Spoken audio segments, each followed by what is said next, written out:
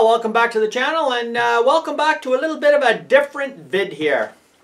Just open up my beer here. Yeah, we're still on the course.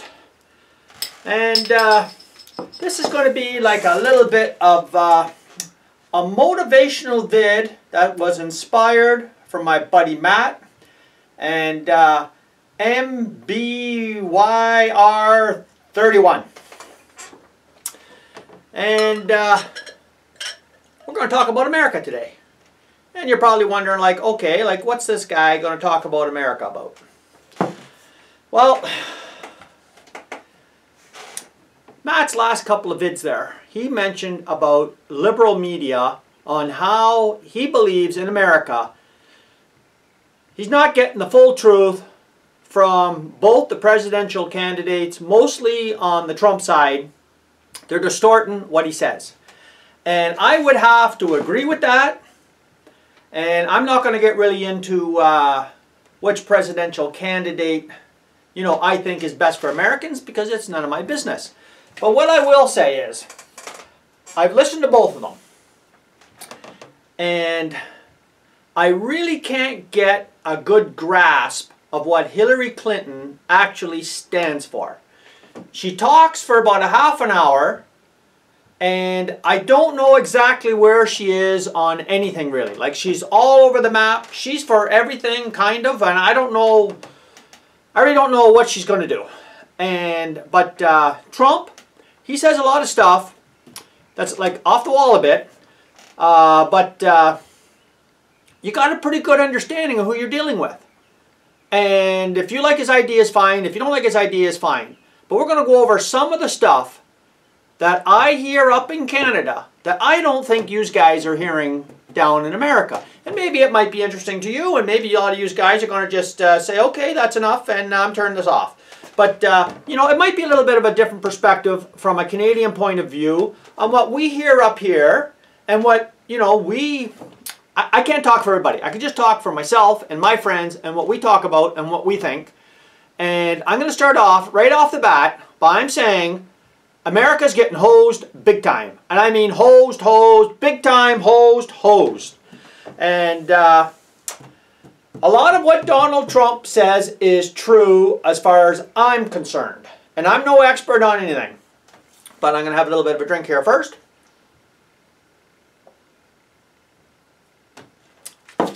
and I got some paperwork. And let's just go over some of this paperwork that I looked into. I don't know how reliable this stuff is. It's all off the uh, internet and uh, you know Wikipedia and uh, just the you know the big sites. I don't go off some of these crackball sites you know that you know say stupid stuff. But we're going to start here.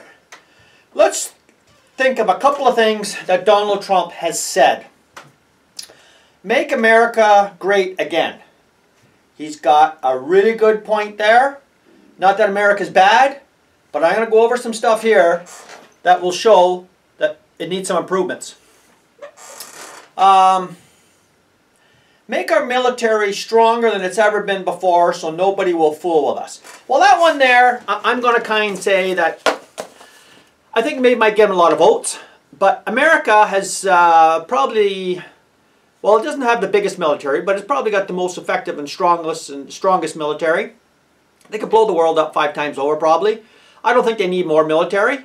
And it's kind of counteractive to what he says next. Now, I don't know if you guys heard this down in America, like I've heard it up here, but he talks about the same as a presidential candidate, maybe not last time, the time before. Geez, I think this guy was a doctor. Uh, wow. I'm trying to think the guy's name now. I'm thinking of Brian's Mobile 1. He's got the guy right in the back there. If I think about it, I'll get up with it. But uh, he was talking about military in America. And uh, Donald Trump did mention on what I've seen up here in Canada about why does America have so many military bases in other countries and it's on the American dime. You know, like Americans are paying for this. And uh, he's asking questions about this, and I don't see that in the general media like when I'm watching American TV. I don't see them asking them kind of questions. And I'm going to bring up some points here. I don't see anybody asking about this kind of stuff. And I don't know why they don't ask about it. But uh, Donald brought it up. And uh, if I could think of that guy's name. Wow. I don't know why. Uh, and the other one was bring jobs back to America to get better free trade deals. And guys, Americans know how to negotiate a trade deal. They're not stupid people by the farthest sense. And I don't think that Donald Trump ever meant that the negotiators didn't know what they were doing when they're making free trade deals. But a lot changes after you make a free trade deal. And sometimes they go south. And, uh, you know, and, and sometimes they have to be renegotiated. What he does emphasize on is China. And guys, I'm saying, in my personal opinion, China's hosing America big time. Big time hosing America. And that, that, that, that, that negotiation between China, you know, bringing over billions and billions of dollars. Like, I know for a fact, Canada was the largest trading partner with the uh, United States up till, I believe, last year. Maybe about 17 months ago. Then China took over. And guys, there's nothing here we make in Canada that compares to the Chinese stuff. Uh, the Chinese stuff is more Dollarama kind of stuff and, uh, you know, like uh, low cost, uh, low, you know, value and, uh, you know, not all of it, but I mean most of it is, you know, not the best quality and it's not, I don't know, like I mean it's cheap. That's about what it is, it's cheap. And, and that's America's largest trading partner and we're going to get to that. So, where are we going to start now? Uh, well, let's just take a look a little bit of unemployment rates across the world here. Just a little bit. United States 9.7, UK 5%, Russia 6%, New Zealand 5.3, Mexico 4.9, Japan 3.2, France 10%, Canada 6.9, Australia 5.8, China 4.1. Uh, the most unemployed people in the world live in Zimbabwe, 80%. Okay, out of 111 countries in the world that make up 88% of the world's population, United States is number one. More than 56% of Americans were considered high income compared to the rest of the world. And uh, this is the World Bank. And it says 13% of the world is considered middle income and 56% of Americans are considered high income compared to the rest of the world. So, I don't know, that, that, that doesn't sound too bad to me. Like if I'm an American, I'm listening to that and I'm saying, you know, that doesn't sound too bad. Okay, now we go to something that kind of makes it completely opposite. So now they're saying, in 2015, the top richest countries in the world, this is the top nine, the top nine richest countries in the world. Qatar, Luxembourg, Singapore. I don't even know what this country is, guys. I've never heard of it before. It's called B-R-U-N-E-I, Brunei or Br Briali. I don't know how you spell that. Dar Salaam. I don't know where that is. It must be in the Middle East somewhere. Kuwait, Norway, United Arab Emirates, Hong Kong, then United States. And uh, number 15 is Australia, Number 20 is Canada. Number 30 is New Zealand. Now, I thought that was pretty interesting. And, uh, you know, how they get these figures, I have no idea, guys. But we're just going to go with the data that I looked at to give you a general idea of what's going on. I hope I'm not boring the skull out of you right now. Okay, so this is the IMF. And they're saying the quality of life index by country. So they're saying these countries, in specific order, have the best quality of life. And uh, Switzerland, Denmark, New Zealand, Germany, uh, Australia, Austria, Netherlands, Norland, uh, Norway, Spain, Sweden, Finland, then United States, and Canada. Guys, I looked this up. America was way up on the list years ago. So Donald Trump, yes, you're right. Uh, make America again uh, a little bit on the better side, which means a better quality of life. Uh, you know, and get them higher up on the index scale here? Yes, because United States was never down there that, that, that before. Now we're going to look at uh, the debt by the countries. And uh, pretty interesting when you look at the gross national debt, you know, and that is the, uh, the amount of foreign debt that a country has. This is foreign debt, only foreign debt, not domestic debt. This is foreign debt and its ability to pay. And what we're doing here is it looks at the chart and it says how much each person in each country has personal debt from their government. So this is from the government. So we're going to look at, okay, wow, America's right up there at the top. Uh, the USA, $19.2 trillion. And that means that every American owes just over $60,000. Then we got the UK.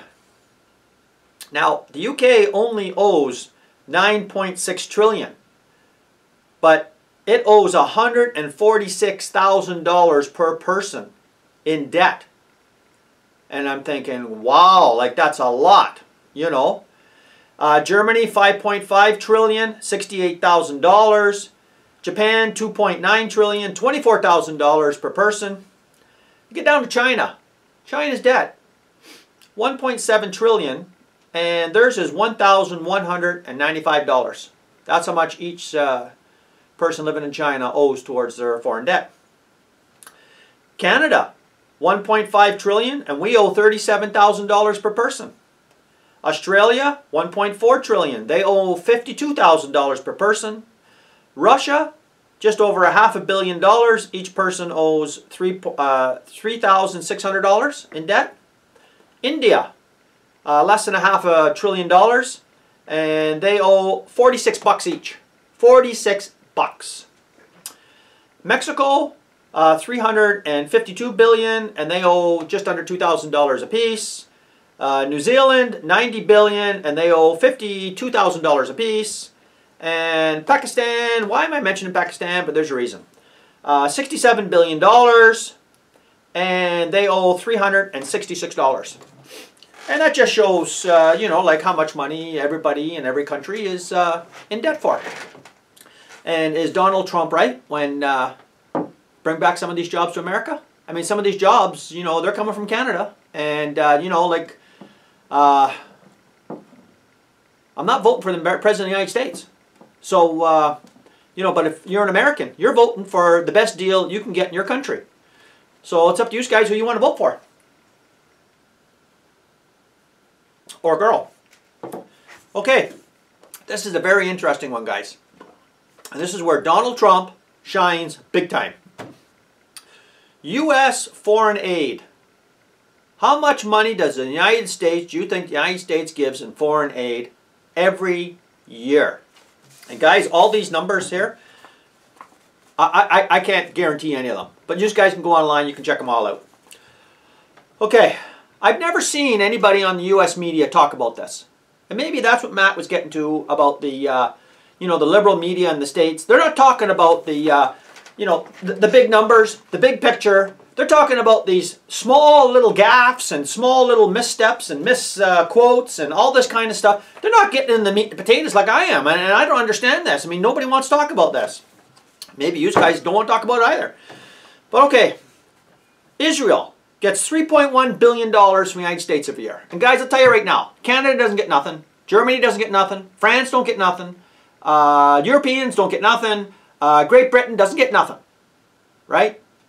And uh, we got 196 countries in the world, and the United States is giving money to 142 countries. 142 countries. Total amount last year, $35 billion. $35 billion of your taxpayers' money that the Americans don't have. It's borrowed money. They're borrowing money to give it away. So, Israel, 3.1 billion. These are just the top ones. Uh, Egypt, 1.5 billion. Now, I can't figure that one out. Jordan, $1 billion. And Pakistan, $1 billion. So let's go back here to Pakistan. Pakistan owes $67 billion and their personal debt for each person living in Pakistan is 366 bucks, and the Americans are giving $1 billion a year to Pakistan, that's a pretty good deal for Pakistan. Um, I, I, I don't know. Like, I mean, I'm thinking maybe uh, America should be giving Canada a couple of billion bucks too. I mean, uh, I don't know. You guys are pretty good buddies with uh, Pakistan there. And Afghanistan, $1 billion. Uh, you know, I imagine Afghanistan is one of your buddies too. Uh, you know, $1 billion. So out of 142 countries in the, you know, you, you guys are giving 142 countries money. And there's a great big huge list, guys. Like, I mean, the list would be right down there. Uh, uh like, come on. I mean, this is getting ridiculous. I mean, who gives that kind of money away like that? I mean, you guys that rich down there? I don't know about that. Okay. Now, this is the part about Donald Trump that I really liked. He's asking questions about this military spending in foreign countries that the American government and taxpayer is on the hook for. Now, I guess maybe a lot of people thought that all these foreign military bases were paid by the countries inside, but now he's questioning this and he's saying no. I don't know if you guys seen this on the media, but I seen it. And he's going, we got to look into this because if there's any military in foreign countries, uh, the countries should be paying the hook for it, not the American taxpayer. Okay, so what does the American taxpayer pay for the military every year? $600 billion. That's $1,900 per person every year. And when he says he wants to make America stronger and bigger and bigger army and everything else, um, I wonder if he were to say, okay, so if we make our army really, really, really strong, uh, by the way, it's going to cost you another thousand bucks a year. I mean, a lot of people are going to say, well, hold it a second now. Things are tough enough now. We don't need to spend an extra thousand bucks. You know, that's every year. But, you know, my opinions are not the same as Americans, and I think America has a big enough army as it is. Okay, so the United States spends $600 billion. China only spends 145 billion, or $106 per person. So, wow, I mean, uh, China has a billion people. United States, uh, pretty close to 400 million, whether they're, you know, documented or undocumented, but you're getting close to you know, 380, 400 million, somewhere in there. China's over a billion, and they're spending 106 bucks per person. The UK spends $56 billion, or $878 per person. Russia, $42 billion, $700 per person. Japan, they're spending 323 per person. Germany, 454. Australia spends $1,000 per person. Now, I was surprised that Australia spends that much. And Canada, 400 bucks per person on the military. Okay.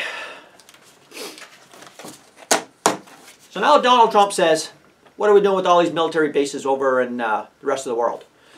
Okay. I don't know if you guys know this or not, but this is uh, coming from the U.S. military itself. Uh, more than 150,000 troops are in more than 150 countries in the world.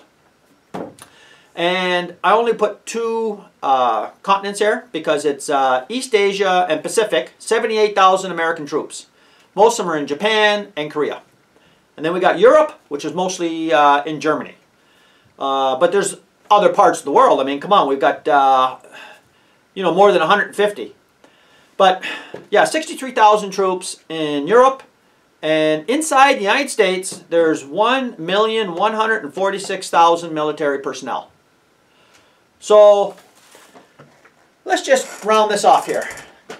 Now, China has the largest military in the world, then the USA, and then India. Do you guys see any Chinese foreign aid going around? Do you see China in the Middle East or do you see China, you know, with their spending money on their military? Well, they're not spending the money on their military too much uh, you know, and uh, helping out with the fight against the terrorists and all this kind of stuff. Well, I don't see it, guys. I don't see it. What I see, the majority, is, uh, you know, the Commonwealth countries. That's what I see. Now, I don't see any Chinese foreign aid like that. Um, China does make foreign aid, does have foreign aid. Uh, just over 100 billion. Most of it's uh, in uh, I guess countries in uh, Asia, Uh, not Japan, of course. Uh, South America, uh, Cuba, them kind of countries. But in 2001, this might surprise you, American guys, and maybe the rest of the world. You know, this goes around the world. In 2001, the United States gave China, and this was every year prior, some more. In 2001, $1.4 billion in foreign aid to China. 2014, $12 million. So they have been ratcheting it right down. But that kind of foreign aid, you know, going to a country uh, that they've built up, you know, their uh, their country quite well on uh, exporting, you know, all around the world, you know, these products. And um, the United States have been paying a good freight of all this kind of stuff. So, do I think the United States needs a total turnaround in leadership? Well, I don't know. Like, I mean, I've only been down to this country once for, you know, like today, and, uh, you know, I don't got a good grasp on it on that. But from what I see up here and what our media is showing, compared to what I'm hearing, what's going on down in the States, when they put a microphone in front of these people and they're talking, I'm not hearing any of this stuff. Guys, I don't see any of this. I don't hear any of this. Um, the American people are paying a lot, a lot, a lot of uh, freight for a lot of other countries. Like they're pulling the load for like like almost 150 countries. They're bankrolling 150 countries. And I'm going, come on. Like, when's the last time you guys hear anybody on CNN or uh, Fox News or any of that stuff? I don't know, did they talk about this stuff and saying, like, what are we spending this money on? Like, why are we giving all these countries billions and billions of dollars? Um, doesn't make sense to me, guys. And I just thought I'd throw this little bit together. Uh, you know, voice my opinion. You guys down in America, when you're voting this year, uh, you decide what you want to do. But I have to give Donald Trump some credit for bringing some of these things up. Maybe you're not seeing them in America, but we're seeing them up here. And it's stuff that I think nobody wants to talk about in America. That, you know, like, you know, when Donald Trump says, you know, they want to make America strong again, uh, I, I don't actually think it means all military. I think he wants to bring some jobs back. I think he wants to uh, realign all this foreign aid to countries. Like, why are we giving all this money away, you know, to all these other countries? We could use that money in America. And I don't know about how Americans feel about this. But if I was an American, I'd be questioning this and saying, like, come on, guys, like, you know, I'd be asking my state representative and saying, like, come on, like, what are we doing with our tax dollars? Because America's borrowing this money to give to other countries. And, and that to me is just, wow, that, that's right out there, guys. And I, I don't follow it, but I just thought I'd leave it at that. And, uh, you know, I hope I didn't insult anybody. But, uh, you know, that's just my opinion, and that's what I think. And uh, I'd like to thank my uh, buddy Matt for, uh, you know, putting on the uh, you know, a couple of episodes of uh, his uh, channel that discussed this kind of thing and brought it to light. And if you guys would like to check out uh, Matt's channel, I'll put it, well, I can't put it up there, can I? I don't know. What happened to my board? It's gone. But uh, you guys take care, and uh, we'll see you on the next one. And uh, this is a little bit different, but take care, guys. See you again. Bye.